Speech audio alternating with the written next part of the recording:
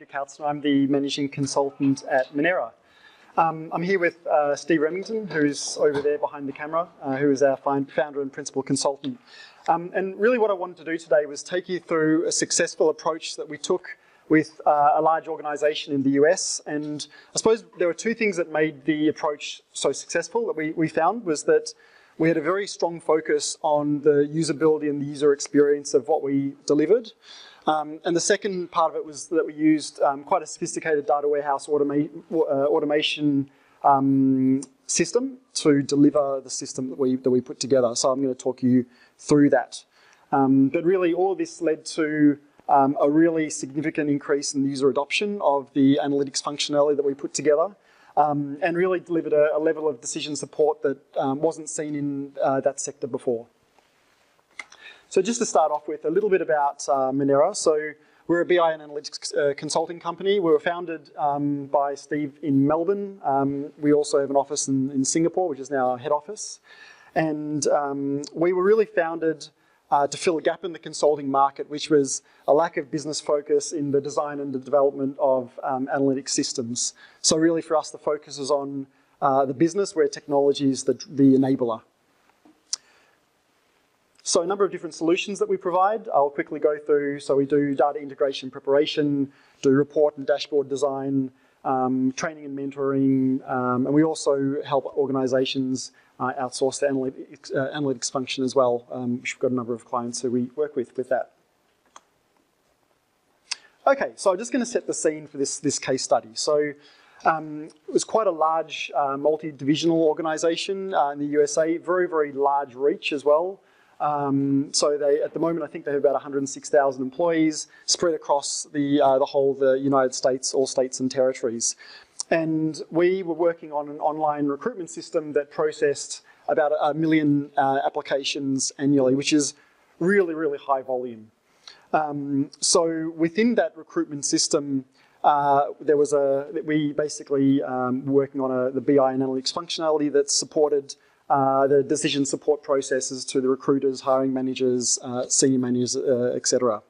So just very quickly, a recruitment system basically takes you from the initial job, so you might be a manager, you might request uh, to advertise a position, they'll go through a few layers of approval, then it'll be put out to market, candidates will come through, those candidates will go through an assessment process, and then um, you'll go through to onboarding with a successful candidate. So the system had a really, really close fit with the requirements of the business. It was a really well-designed system, but unfortunately the same programmers who designed this great transactional system, this workflow system, designed the, uh, the BI system that underpinned it. And really, um, it wasn't designed at all for um, decision support um, at all. So uh, didn't really use any of the decision-centric design principles. So the overall adoption of that system was very, very low, um, really right from the outset. And, and uh, I suppose the, the tool that they used, so they used a tool called Yellowfin, which you might have seen around the conference, um, to provide this information to the users. Um, the tool was, was really great, but the interface they created within the tool wasn't designed at all with the user in mind. So the other problems, I suppose, were on the data warehouse level, where the, data the database, the data warehouse wasn't structured at all for for user support. It was hard to use, it was confusing, and it was all hard coded. So any changes really took a long time to, uh, to make.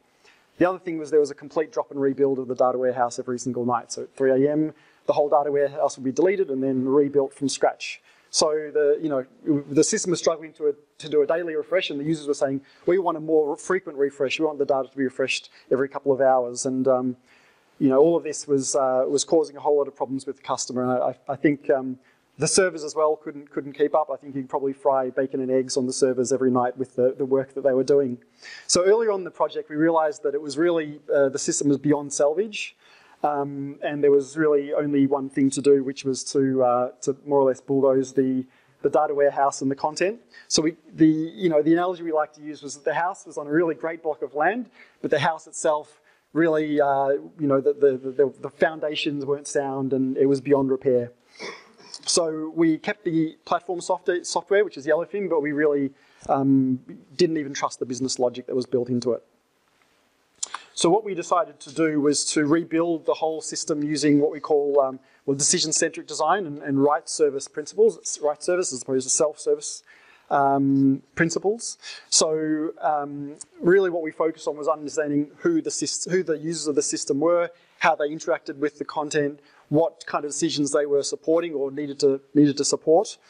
Um, and really around the business logic as well, like what could we build in that would make it as usable as possible? Because we really wanted to focus on making a system that was so usable, so intuitive, um, that um, you know we'd uh, really get that engagement from our from our user base.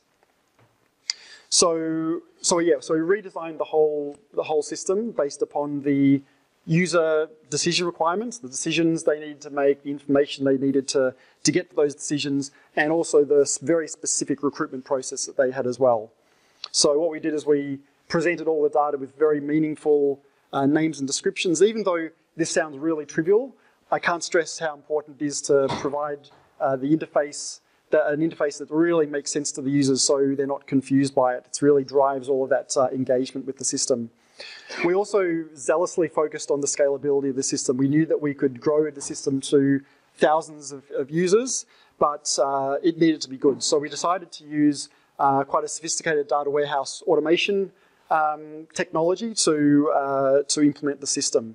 So what this really allowed us to do was, uh, well, maybe I'll just start by saying data warehouse automation allows you to build um, data warehouses, data structures, without actually manually coding all the information. So you use metadata in order to, to build those data structures. And one of the good things about that is it makes it very easy to make changes. So the whole evolutionary approach with BI development is supported through data warehouse automation because um, really with, uh, with, you know, with a BI system, if you deploy you know, something and then the users don't come back to you asking for more changes, your system's probably not being used at all. So um, knowing that we were going to be asked for changes, we wanted to be able to make those changes very quickly in so days and uh, up to a week, not weeks and months like in, in other um, situations where it was all manually coded.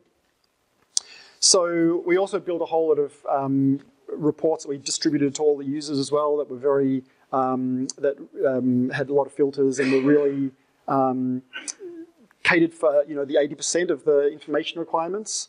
Um, and we also put together a recruitment analytics team that were champions within the business. And uh, these guys were actually strong detractors at the start, but but um, after they saw what we put together, they they really um, uh, we basically did some training with them to understand the processes in order to support um, decision making, um, the data structures as well to a certain extent, and and uh, and then they basically started um, working with the decision makers um, autonomously, uh, which was which was really great. Thanks. Okay. So grew to about 12, 2,000 regular users of the system. The other thing I'll mention is we won an award for innovation in that particular sector, so we're really quite proud of what we, what we put together. Just going to move on a little bit quicker because I'm running out of time. So just some business benefits from uh, the, the system we delivered. So they're able to really link the HR goals of the organisation to the recruitment goals to the organisational goals overall. So an example of that is matching the demographics of the organisation to the demographics of the USA, which was one of their strategic um, goals. Um, there are a whole lot of recruitment cost savings as well around time to hire, optimising sourcing strategies. And there's also around um, the matching candidates to locations where sometimes locations that are particular loading, so I mean more expensive to employ someone in New York as opposed to Maine, uh, we're able to uh, work with them to start reducing their costs in that uh, manner as well. So just to take you through some key learnings, some takeaways. So first of all, really uh, everything needs to start from the, you know, the decisions, the, the information requirements of the users. So that came through the, you know, with the decision-centric design of the data structures and also the, uh, the user-centric design of the interface that we put together that was very, very highly intuitive. Um, the other thing was really about data warehouse automation. I made the point earlier that change is great because it means the users are engaged in your system, um, but you need to be able to set yourself up to deploy those changes rapidly, and manual coding isn't, isn't the way to do it. So um, really recommend that data warehouse uh, automation is something that you guys um, look into. Um, and also about usability and user experience and um, really looking at uh, analyst-led support in addition to user-led support. So sometimes it makes sense for business users to use the system and get their own um, insight, get their own information, but sometimes it's better to put an analyst in place to act as a chauffeur to to solicit the information requirements and satisfy those those um, and uh, the information for the decisions that are being made. So we found that there was quite a really good balance that was uh, that we found with that recruitment analytics team that we that we put together. And the other thing was really about designing for scale. So we designed a system that was uh, uh, you know that we could expand that would we to a, a large user base, but also to very tight refresh. So we could, if the user decided to increase or decrease the refresh interval to, for example, uh, 30 minutes, the system was designed to uh, to cater for that. And I don't know if you there was a, an ad on TV a few years ago. I think it might have been a Toyota ad, and you had this. Uh, sort of iteration, iteration between a manager and a designer, and the designer, or I think it was the engineer, and the engineer would say, "I've, I've managed to reduce the emissions to this particular target," and and the, uh, the manager was like, "It needs to be half that," and it was kind of that between our uh, lead architect and our BI developer, where he'd, he'd, put something together and we said, no, it needs to be needs to be better than that, and um, really trying to design for as much scale as possible. So, um, yeah, feel free to uh, speak. That was really all I wanted to wanted to say. But uh, we have a stall just outside. Feel free to talk to us if you like more information about what we put together. But um, really, the um, the focus on usability, and user experience was what really um, delivered the results with this project. So thanks very much.